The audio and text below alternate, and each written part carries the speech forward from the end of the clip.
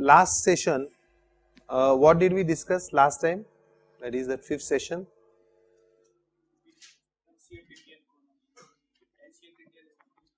So we had started discussion on ancient Indian economy.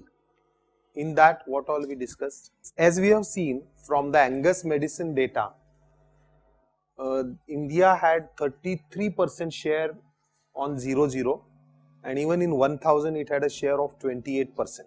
So it was distinctly developed economy compared to the whole of the world. Now we are trying to answer whether we are just going by one particular article or one particular author or there are other evidences also. For that we are looking at more evidences. I think I had I think I had told you earlier that in my view that Angus Maddison figures are also understated. They are very very conservatively stated. He has not made any overt claim. So we are looking at other aspects. So there are three major sectors of any economy. The first one is agriculture or in the olden days it was as primitive as gathering food. So what were the references we looked at for agriculture? Very very olden days there are some cave temples in Bhimbetka which show agricultural equipments being used something like 3 4 lakh years before. So usually westerners still recently used to refuse any history before 6000 years saying that no no no there are no proofs and how can you have such a old history but those paintings which are now proved to be very old show agricultural uh, not only that agriculture is done they had tools which were used for lakhs of years. Then there are also other records of uh, rice being grown or other crops being grown in India from a very ancient time. Of course, now we will feel उसमें इतनी बड़ी क्या बात है but उसमें बड़ी बात यह है कि westerners have been refusing this history they were saying no no no you can't have that history now it is slowly coming out that no you had a reasonably developed agriculture from past and then we had also seen uh, about irrigation. So what was the special feature about irrigation? Large number of ponds, tanks, small and big lakes, especially in South India. Almost, I mean, more than one in each village where water used to be stored and some other references that large part of uh, agriculture is through the irrigated water. Okay, so that was about agriculture. Then what about industry or manufacturing? So urbanization we get some data especially from Harappan townships or at other several other locations also. And who, who else, who was the expert who studied it? Paul Bairoch. Paul, Paul had done a detailed study on urbanization and manufacturing. That also says that 30% of manufacturing is coming from India, which was I think in as late as 1820 or 1830. So that is another strong proof for manufacturing. So as I was saying कि पहले तो they used to deny that you have anything then they say okay you may have agriculture but manufacturing not possible. Now the data shows that Indian economy was prosperous not just on agriculture. Agriculture is required but you will get food. To get the surplus you must have industrial output which can be exported. So that was through manufacturing. And what about the third aspect of economy? Education तो बाद में आएगा trade और other services so what are the references for that we have seen that india had lot of trade surplus which was evident from the movement of gold from other parts of world to india because of trade surplus it had to be settled through gold there was no other way of settling and there are also other uh, references to trading and especially maritime uh, advancements in the shipbuilding and all such types of things required for trading. and other two sectors of economy. What are those two sectors? Education and science and technology. Because if economy is advanced, naturally education should also be good and education if is advanced it will have impact on economy. So what are the available information about education? Vikramshila is there. South India also had lot of universities. It is not that only some part of India. It's right from here west side में गुजरात से वहाँ तक even in the eastern parts of India there were several centers of higher learning. बहुत सारे उसमें proofs है but we have only seen two. One is in a very ancient times that is in the form of ancient universities. The other references were at the beginning of British rule. So, what are the uh, references about beginning of British rule?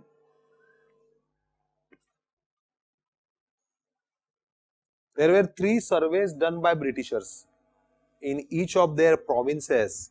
What were the three provinces which they controlled? They had Calcutta, that is the first one, then Bombay and Madras. All the three provinces they did a survey around 1810 to 1830, 1840.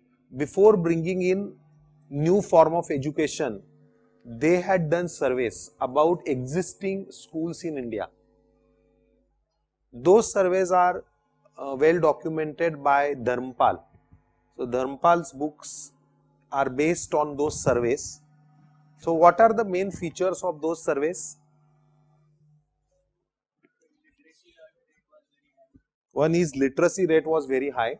District nahi, every village, every village had a school for primary or little higher than primary type of education. Many villages having 2, 3 also. And anything else?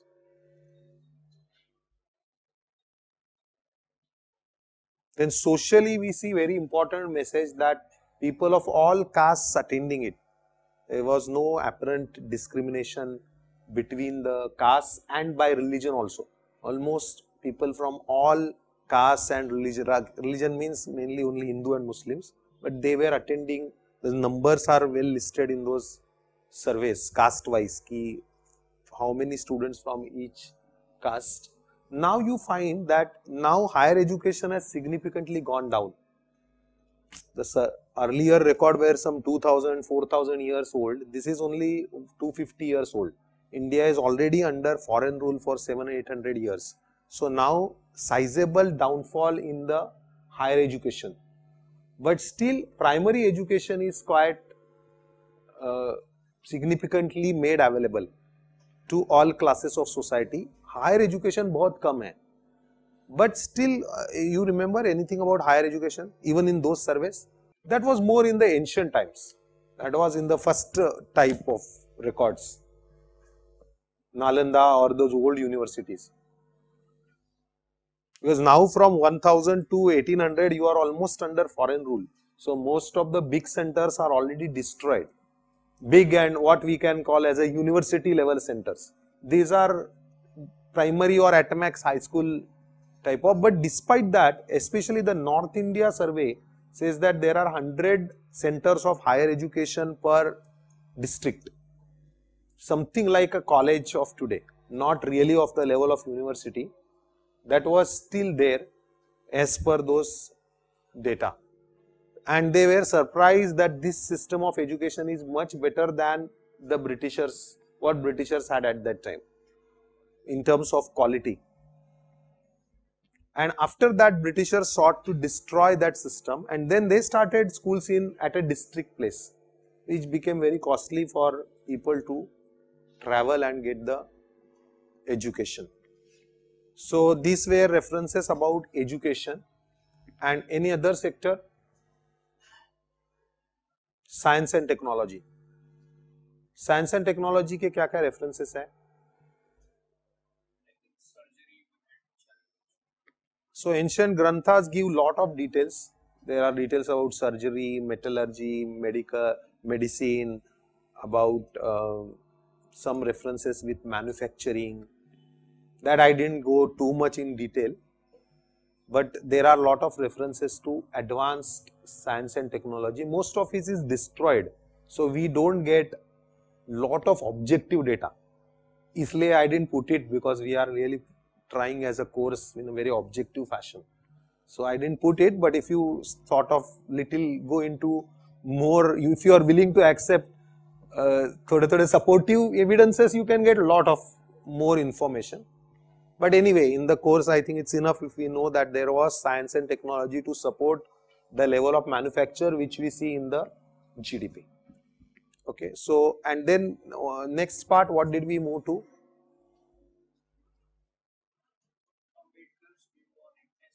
Then we have gone to studies by Ambedkar. Dr. Ambedkar had given lot of studies about economy and commerce in India. There were two, three reasons why I chose. One was because Ambedkar is very, very critical about Indian culture. So he giving means उसे कम हो नहीं सकता. You can find other authors who would have made much, much better claims.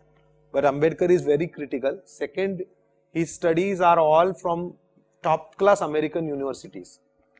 His professors also will not accept any claim if it's not substantiated very strongly by proof.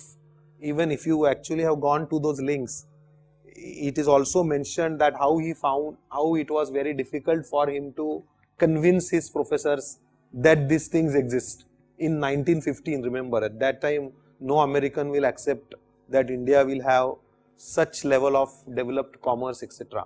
So, so we can be very sure कि ये सब objective है.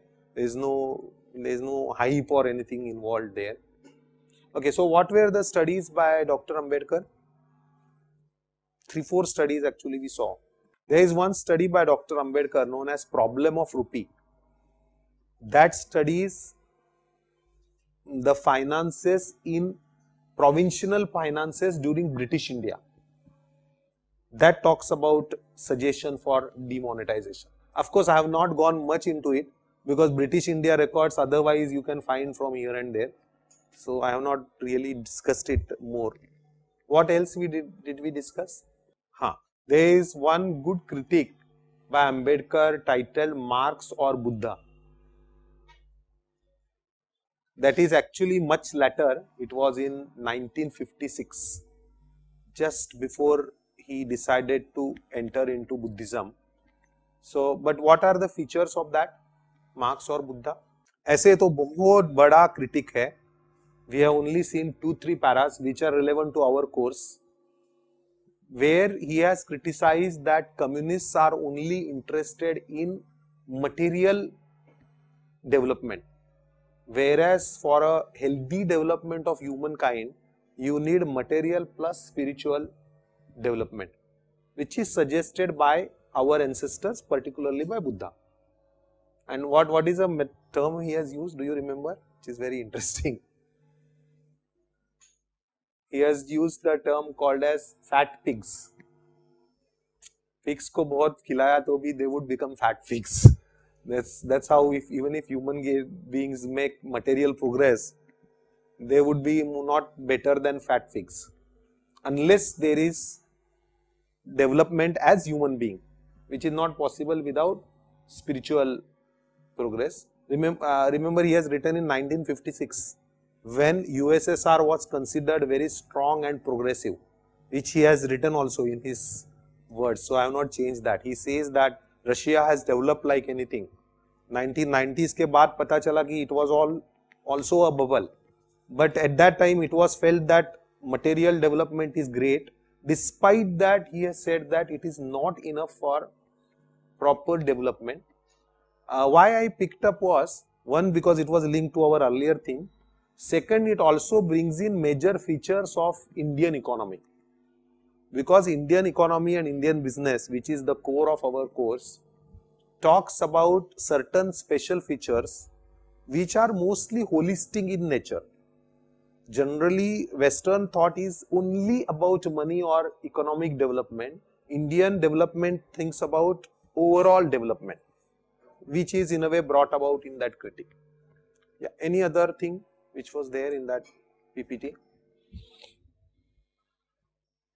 trade ke bare mein do you remember? There is ambedkar's uh, thesis on development of global business, especially of Western Europe. He has said that after the land route of trade uh, was blocked, so after advent of uh, Caliph and domination of Muslims in the Middle East, they dominated both land routes and ships also were not allowed from Arabic Sea. Till that time, Eastern Europe was well developed. So Italy, Venice and all these areas were far better developed than Western Europe. And major reason was the trade from India. So all the sophisticated items which used to go from India used to be traded in the Eastern Europe. When this trade was stopped, Eastern townships dried. Western Europe was already not in good shape, was further in bad shape. And at that time, they thought of finding out new trade routes. That new trade routes were in the form of America, in the form of encircling Africa and coming to India. And after that, Western Europe developed like anything. So again, two, three takes takeaway for us. One तो India was highly developed और एक कोरेबोरेटिव evidence है कि India का trade इतना important है उनके लिए कि इंडिया के ट्रेड के बिना they can't even get the basic necessities that's why they had to they had to develop new ways to reach India one second point the development of western Europe which we see later period actually these are the seeds of the development that's what he argued that finding of new routes then they found America they found colonies in Africa वगैरह वगैरह. पहले वहाँ Africa में कोई जाता नहीं था. People were directly crossing Europe and coming to Asia. So because they were having then better navy, they could attack the African countries or American uh, countries in America and then they got colonies. So the development which we see in latter 100, 200 years, these are the roots, that's what Dr. Ambedkar has argued. So we see from that Angus Maddison chart that post 1750 and particularly post 1800, significant downfall of Indian share and also Chinese share and rise of Western Europe and then of US. And those periods have been already studied and this that is studied under that chapter or a thesis called as drain of wealth. How India was systematically drained and the wealth was transferred to UK or to other parts of Europe. So who has put in that theory? Drain of wealth. Drain of Wealth is a book written by Dadabhai Naoroji. So he has studied lot of a lot especially British records and written a big thesis on how the wealth was drained. I hope you know about Dadabhai Naoroji. We have discussed this, is it or no? So he was the MP in the British Parliament at that time also and then he has dug out all the records and of course has the courage to publish it in the Britishers time with lot of proofs and subject uh, and objective uh, uh, data as to how the wealth is is being drained he has said because in those days itself he had written. Then there there were other authors also. Who anybody remembers any other authors?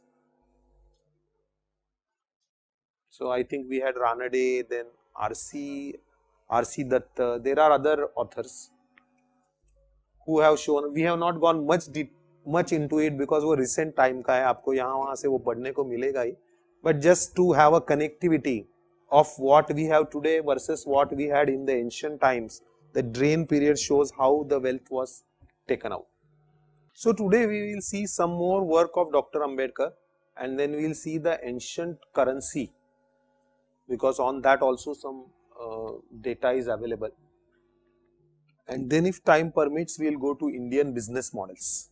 So Dr. Ambedkar has written this thesis, uh, when did he wrote? His first work in 1935 which is presented to Columbia University. So he has written in detail about commerce in ancient India. The first one is of course agriculture. Uh, he has specially written about the respect for agriculture as a profession which was the highest generally there were very few laborers in agriculture. People used to own the land and cultivate their own land जिससे क्या होता है which was a unique feature of Indian economy कि every person is more of a self driven more of a entrepreneur second there is less exploitation of labourers in other parts of world there were one person having huge lands बाद में जमींदारी time आने के बाद India में भी वैसा हुआ but in those days there was nothing like zamindari every person having own piece of land and there was also decentralization which is one of the features of Indian economy.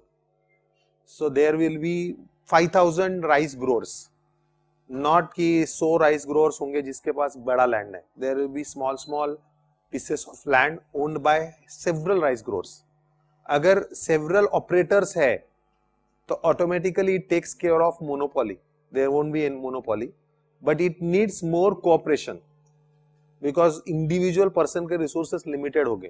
So they have to pool the resources so the level of cooperation was pretty high between those farmers they use to share resources because हर एक के पास resources कम होंगे. Unless they share they won't be able to do good so that they used to share we were some features he has also written a lot about devotion to cow and he has justified a lot because the whole economy is cow based economy agriculture needs cows and that's why they are considered as revered and there is a lot of shraddha about cow and cow should not be killed. It contributes a lot to the agriculture. Second part is about organization of labor, industry and commerce. In that the first point was very very low level of slavery. Again here we should compare with the times he is talking about so slavery was very very high in most other parts of the world. Generally one race used to capture other race and make them slaves, permanent slaves. say if you read old uh, Bible references, the Jews are slaves in the hands of Israelis, etc. You such type of things you will find in all other history. Here there is no slavery. There was negligible amount of slavery only to pay the debt. If suppose the person becomes in debt, the person will have to be slave for one season or two seasons till that debt is fully paid. So otherwise the slavery was low. Again that also ensures more of a decentralization because her person खुद का खुद owner होगा ऐसा नहीं होगा कि there is one zamindar got hundred और thousand slave then his return about I think we had come up to this about various industrial classes which are again very interesting from the management perspective so one was this वद्धकी this is the embodiment of a carpenter ship builder cart maker and all such type of profession this also I think we had seen कम्मरा So various types of metal items which are clubbed under this. Then Pasana Kuttaka. These are masons. So there was considerable degree of organization and certain trades which were localized in special villages, they used to have associations. So what those associations are called? That's that used to be called as Shreni. The Shreni is very akin to today's corporate companies. That's why I also remember it. Otherwise, there are six, seven names given there.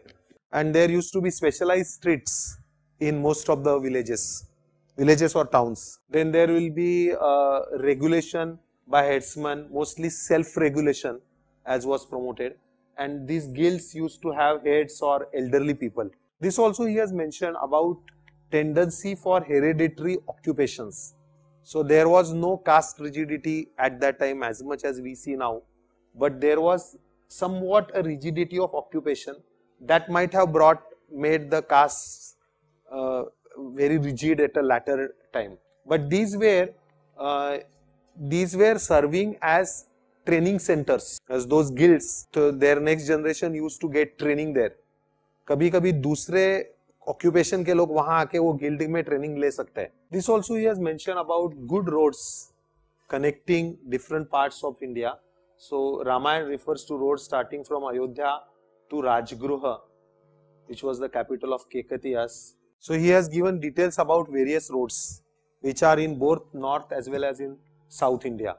This is very again interesting from management angle that trade was not only individualistic, it would show some type of corporate commercial activity as well as partnership. Now in our next PPT, we will see more details of this that generally books say that ancient system where there was only barter. But for such an advanced level of trade, only barter won't work. So barter was might be there in long, long back. After that, cows used to be exchanged or rice used to be exchanged. Slowly, you need some standardized uh, currency. Then only the trade would be possible. That was also there, though it's not there in this particular thesis. It's there separately. So then currency had also evolved, though it was not from a royal authority. It was issued by big people, something like the banks of today. Uh, and this is also very important. There was no taboo on loaning of money. Which again we feel isme kya badi baat hai, but in those days, especially in Islamic countries, the loaning of money was completely banned. And in other parts of the world also there were restrictions. Whereas here finance is well developed, so people can easily uh, invest as well as others can get loans. And those interest rates sometimes were regulated. So along with trade, many times civilization also we can see was passed on to many parts of Europe or Africa. So a good amount of the mercantile class in Africa or in parts of Asia are of Indian origin. That's not only after Britishers, it was there from ancient times. People had traveled there and they used to do trade. Then you see references from Egypt, Syria, etc. that most of these costly items used to come from India, which may include spices or aromatics or scented wood and so on. Uh, I don't know what this Q-fir is. If you have any clue, you can tell me. It mentions of Q-fir are to be found long before the time of Solomon.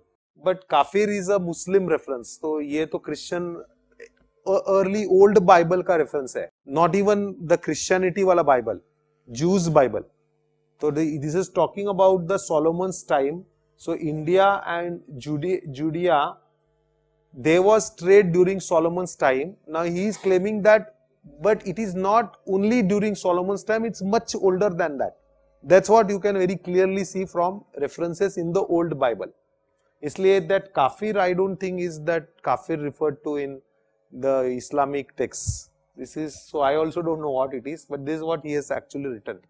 So these biblical evidences are also supplemented by linguistic evidences. So you might have read somewhere there is lot of similarity between Hebrew language and Tamil. So perhaps ancient Tamilians went there and settled or they used to go there frequently for trade. So Tamilians had lot of maritime trade. So exact links or reasons pata nahi hai, but he has given references about several words from Tamil having very close uh, similar uh, meaning in some other word in Hebrew. This I gave because uh, earlier I think also there was one question about what were the items which were exported. So he has given lot long list of 19 items which was exported out of India. This he has given from the old Tamil uh, text which talks about thriving town of Murichi. So which says that, uh, do you know what it is? I don't know. मैंने तो इतना ही पढ़ा है. Maybe some Tamilians might know it. So where the beautiful large ships of Yavans, these Yavans refer to people from Europe or people from Turkey. This is nothing to do with any religion or anything because this is much much older, four, three, four thousand years old. What is interesting is they bringing gold. So they are saying that ships full of gold are coming. That was to settle that trade surplus. Uh, this is one more uh, article by Dr. Ambedkar, which where he has written about Shudras. भी उसमें और बहुत सारी चीजें about cast etcetera but relevant here was there used to be only three varnas in the old society and there was nothing like Shudras. Shudras emerged from Kshatriyas. This is what he has said. So Shudras are not coming from outside anything or uh, the suppression of Shudras etc. was not there in the ancient Indian times. That's what he has written. In fact, there was no such class like Shudras in the ancient Indian times. Huh, this is a book written. Huh? Sorry, I said article. Actually, it's a thick book. We have just put taken only one paragraph from it because उसमें बहुत सारे बाकी चीजें हैं that's not really relevant for us. Okay, now slightly we'll go to the new topic. So we have seen now we have discussed about ancient Indian economy or commerce or trade first from our earlier PPT by different authors and then by Dr. Ambedkar. Now just two three slides we will see कि Indian economic model है क्या Yes, we are saying that there is some model and there is a lot of prosperity, etc. It's too difficult to really summarize, but I have just taken two, three people from current times, not very ancient references like Chanakya, etc. Uh, from current times who have written about principles of Indian economic model. So, one of them was Gandhiji, where he has said that economics that hurt the model, moral well-being of individual or a nation are immoral and therefore sinful. So as I was talking earlier, Indian economic model has to go hand in hand with ethics. I think हमारे पहले हमने PPT में भी देखा था ethics in economics. So anything which does not have the moral, does not talk about moral well-being, actually is completely immoral. Not only immoral, it's sinful. And second is that that economics is untrue which ignore or disregards moral values. This I have taken first because Gandhiji is the first amongst the three authors which I am putting. Uh, the second one was by again by Dr. Ambedkar where our object in framing constitution, this is more from discussions in the constitution, uh, constituent assembly, to lay down the form of political democracy, which is of course one which is already there. Second is also important but generally ignored, that is also to lay down our ideal of economic democracy which he used to talk about decentralization and other things. This he has written of course in 1950s. The third person which has who has written more in detail about the Indian economic model is Deen Dayal Upadhyay. He has very in a very good words summarized what is the crux of Indian economic model so he says that as I visualize for India a decentralized polity, self-reliant economy with village as the base. We cannot rely upon superficial Western models, concepts like individualism, socialism, communism, capitalism and need to be rooted in the timeless traditions of our ancient culture. And he was of the view that Indian intellect was getting suffocated by Western theories and ideologies and consequently there was a big roadblock on the growth and expansion of Bharatiya thought. This he has written in 1960s. So who was Deen Dayal Upadhyay? Anybody is aware? He was the founder of Bharatiya Jansangh which later on evolved into BJP of today. So he has written many other things of political type but he has written, he has given a concept known as integral humanism, which in very good words brought about what we are talking about in the Indian economic model. What is even more important is, you can see this he has written in 1960s, जब यो लोग सब ये सब ideas को हंसते थे because communism was on top with USSR and China doing very well. So he says that all these concepts are superficial US was also on top. So now people are rethinking because communism is gone and the western powers are in debt. But he has written it about the times when actually these powers were really dominant. But that time itself he said that our intellect is suffocated because of the western concepts. So here he has said that primary concern is to develop indigenous, indigenous economic model that puts the human being at the center stage. That's why it's called as integral humanism and it is opposed to western capitalist or marxist uh, capitalist individualism or marxist socialism though welcoming to western science so it seeks a middle ground between capitalism and socialism evaluating both the systems on their merits while being critical of their excesses so every human being is not just about a, a, a sort of a economic being so every human being has all these components body, mind, intellect and soul. normally in a materialistic philosophy, it only cares takes care of body, at max body and mind. Basic necessities एक बार fulfill हो गई, then person becomes dissatisfied. Person won't be happy by just by earning more money, more money, more money. Because body और mind को mostly body को ही satisfy करने की limit है. उसके बाद उसको कुछ मजा नहीं आएगा. Then person will look for intellectual pursuit. And beyond that, going to Atman or more of a Shanti type of pursuits. That is what is the crux of actually Indian indigenous model. Uh, and put in other words, there are four universal objectives of Kam, Artha, Dharma and Moksha. Here again, Western only uh, models only talk about these two. Artha and Kam means you earn money and you enjoy after a point the enjoyment doesn't give much of satisfaction you need some moral values which are given by dharma and the ultimate goal will be moksha that's what indian model brings about so again he has claimed that the problem of both capitalist and socialistic ideologies that they consider the needs of body and mind only of course the needs of body and mind are very important if they are not met baki sab nahi kar sakte but they alone are not ultimate. This is also very interesting quote by uh, Maharshi Aurobindo. He has written 100 years before that India will rise again on the ruins of West. In He has written in 1911 where it was very difficult to write even before the first world war when western powers were really very very dominant.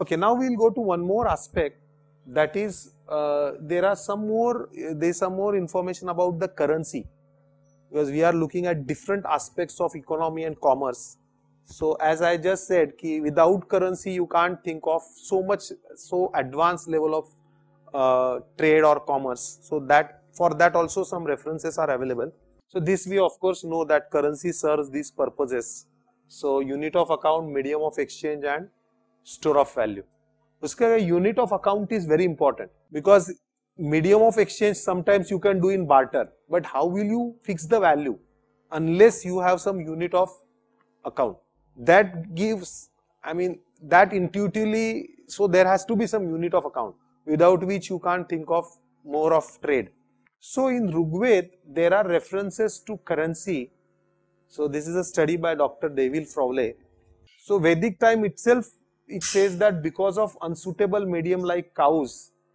there were other medium, especially there is a reference to word called as Nishka that was used, uh, that is referred in the Vedic times. It appears to be a standardized item. So so, जैसे यहाँ कुछ references दिए है that Rishi Kakshivat receives a present of hundred निष्कास hundred horses hundred bulls तो ये hundred निष्कास जो है it appears to be some standardize items और उसका रेफरेंस कई बार आता है। सो so, ये अथर्ववेद का भी रेफरेंस है that hundred निष्कास three hundred horses ten thousand cows and so on so this is talking about some item of metal to be used as a currency so this is there in some Shatap uh, Vedic texts as well as in Jatak stories as well as in uh, Shatapat Brahman you see these references of Nishkas In Manusmruti, Rajeshri Manu defines Nishka as equal to a weight of 4 Suvarna or 320 Rattis and its relative weight is equal to 1 Karsha or 80 Gunjas, perhaps of 180 grains. Then of course during Ramayana and Mahabharata time also you have references about currency. Then you might have seen this from this Indus Saraswati Valley civilization you can find such stones which are used or usi type ka stone piece you find in large numbers. From that now it is being argued that they must be like sort of today's currency or coins. That's why they are found in different cities, similar type of item found at many places because they were used more like a currency so, uh, I hope you have read about this that initial sites which are Harappa and Mohenjo-daro which are very famous like they were only near today's Sindhu river That's why it was named as Sindhu civilization. The latter sites, several sites in Rajasthan and Gujarat, etc., are far away from Sindhu river. That's why new research argues that there was Saraswati river and then on both sides of Saraswati river you find lot of uh, sites which are getting excavated, which are reasonably evenly spread. Otherwise Sindhu river आप लोगे तो it is only on the Indian side of Sindhu river, so which appears illogical. If there is a civilization near river, people will naturally have cities on both sides. They can't only stay on only on one side. Then during Mahajanapada's time, there are references to these types of coins. Round नहीं है थोड़े longish coins but made of metals. This is from silver. So this is this is standardized, which shows that it appears to be coins minted by some king or by some traders. Then this is the coin found in Lydia in Europe parallel to the Indian coins and these are coins in the Mauryan coinage. Now they have become sort of round. These are post Mauryan coins. What is very interesting about this, this was found in Greece. What is more interesting about this coin is one side of co coin is in Indian lipi, the other one is on Greek That shows the level of trade which must be there, which is very rare in those days क्योंकि कोई medium of communication या transport available नहीं है. Still such coins are there. So see, these have inscription on the left face is in Greek and on the right face in the Kharoshthi script, which is prior to Devanagari, the script used in India. Uh, so here you can see here the successors use uh, bilingual coins. This is during Gupta period. After the after those coins, these are much better developed. These are uh, mostly coins made of gold. So what these were known as these coins? स्वर्ण मुद्रा तो है ही but उसका और एक word भी है Why is Dasra celebrated? Do you know the story of Dasra? It talks about King Raghu wanted money. So he is ready to attack Kuber. Kuber doesn't want to be attacked so Kuber वर्षाव करता है सुवर्ण मुद्राओं का. Which are known as मोहरास so मोहराव का वर्षाव करता है. बहुत स्पेसिफिक रेफरेंस है. It doesn't say that he gives wealth और something like which again shows that there must be currency and they were gold currencies इसलिए उस दिन सोना लुटते. क्योंकि that time lot of gold coins came from somewhere and the, those coins were known as muhras. So rich people or high value trade used to happen in muhras. This is prior to advent of rupee. Huh? Olden days muhras were common. Not necessarily common in a sense of common man, but high value transactions used to happen in such type of coins. And how did rupee evolve? What does a rupee mean? तो rupee is made of what rupee actually means silver रौप्य in Sanskrit means silver so rupee silver coins were later became more common especially post Muslim attack so old coins अभी तक जितने coins देखे you hardly see any silver coins later period you can see them before that some other references also can be seen this is about hundis So from very ancient times, there used to be a bill of exchange or a sort of promissory note which was called as hundi which was used for transfer of money. So you can deposit money with trader at one place, get hundi, go to other place and you can encash it at the other place. This is how hundis used to work. जिसका settlement hota था, two way settlement. That that's the only I mean only then this hundis can work. So if you are depositing money in Mumbai, you want money in Delhi, you can go there and encash it, sort of like a traveler's check. So there are many references. One reference is by this Abul Fazal. This is in 1596. He says that from a very very long time such instruments exist. So in Kautilya Arthashastra, you, you find several references to controlling of credit or controlling of interest rates or regulation of banking. Then this is paper currency. Uh, generally, it is believed that it was developed in China. तो paper currency और हुंडी में ये फर्क है कि the hundi is a negotiable instrument encashable only at against a particular person this is for like today's currency note you can exchange it with anyone this is some european uh, some again some chinese note this is a swedish note but much later it's in 1661 a chinese note is in 600 AD ah, this i think i already asked you so silver coin reference you only see after 1000 AD and it was made of silver so it was called as rupia from rupia the word rupaya came. This is again from Dr. Ambedkar's that problem of rupee. Uh, again you see that uh, Muslim kings used to issue these silver coins whereas Hindu kings still used to use issue the gold coins. So South India much later even as much as in 1500 AD the silver coins were in use uh, sorry gold coins were in use in South India. These are some coins in uh, by East India Company. So we have seen broadly we have discussed about Indian economic model which is a background. Our main work is on what is Indian business model and from business model what evolves is a management model. So now we are going to more of a business and management model.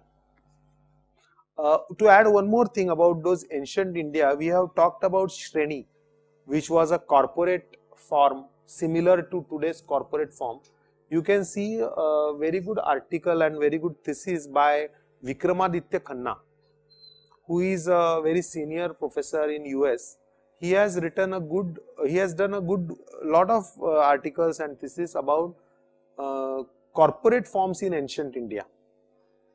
कि organisation structure कैसा था how was the ownership spread how they used to transact etcetera he is a professor of law so he has written it more from a legal and corporate angle now based on the principles which we saw there is an impact on the way the business is done and that is indian business model and these are some of the features of indian business model so relationship faith goodwill based community drive family business or uh, less dependence on state.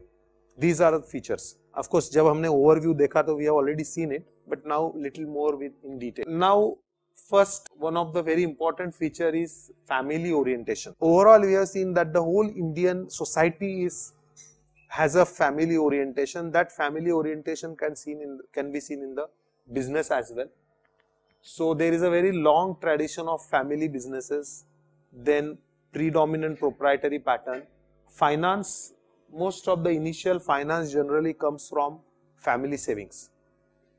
So it is both ways. For family, it is a motivation to save and when the young person from family wants to start business, that becomes the source of finance. Then there is also support of relatives and friends, etc. And borrowings from local financiers using the family goodwill. Because the family is known people will give funding not based on the way venture capital or such things work on. Uh, the attitude of self-denial and dedication. As we have seen again in the principles, it's not just about money, it's also about moral values. So there is an attitude of self-denial that helps in bring, building the goodwill and passing on the uh, wealth plus goodwill to next generations. Then there is division of responsibility, sharing of risk, etc. Okay, now is this family orientation good or bad? Some good aspects, some bad aspects would be there. So what could be plus points, what could be minus points?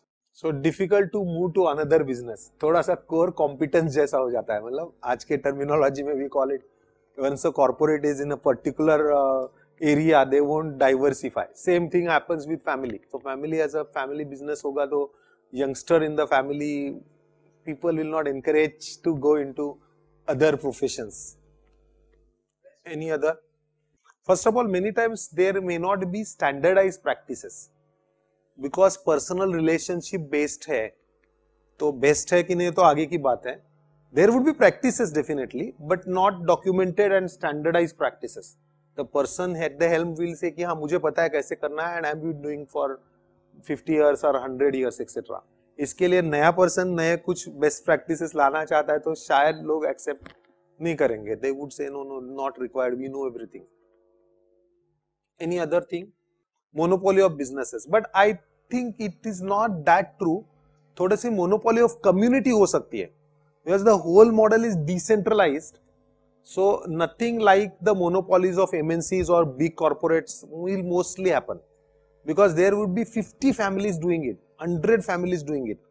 But थोड़ा कभी कभी ये हो सकता है कि monopoly of community हो सकती है because new people only of that community would be welcome in that business दूसरे कम्युनिटी के पर्सन को अलाउड है लेकिन एंट्री करना डिफ़िकल्ट हो जाएगा तो उसका नॉलेज बेस नहीं होगा these people are already very dominant in the business they will not easily accept other people.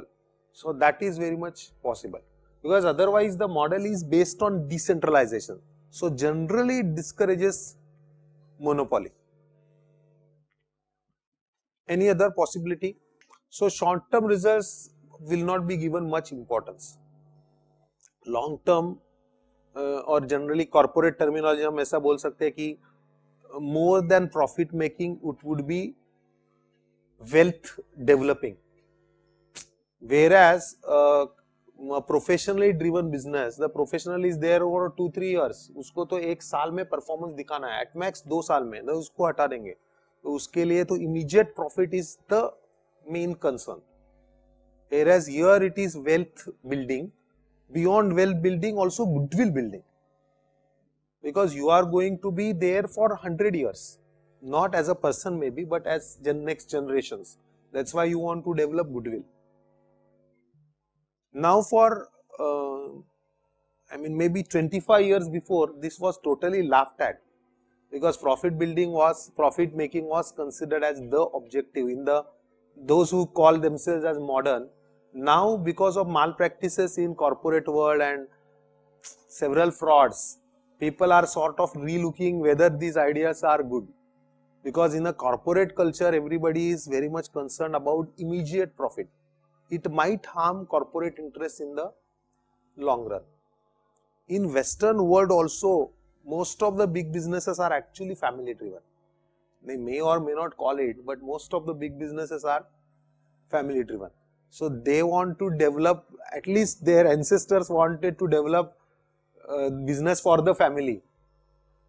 And that's how they had a very long vision.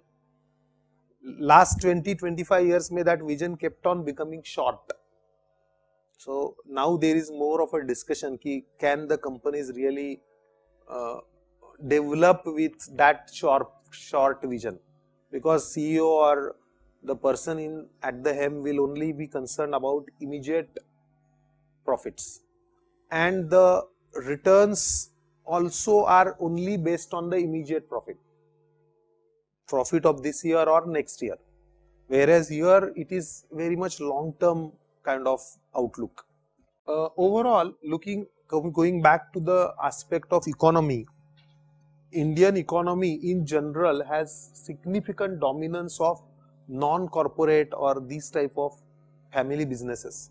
This is slightly old data actually because it's from the book, but almost all the sectors have a very high proportion of non uh, unorganized sector or non-corporate sector.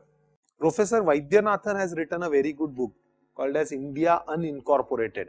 The whole book is devoted on this. If you go to his blogs or if you just do some Google search on unincorporated, you can find many aspects of it. Because it impacts economy, it also impacts business a lot. Even if you are in, in big company, you should be aware of this because almost all your suppliers would come from this category.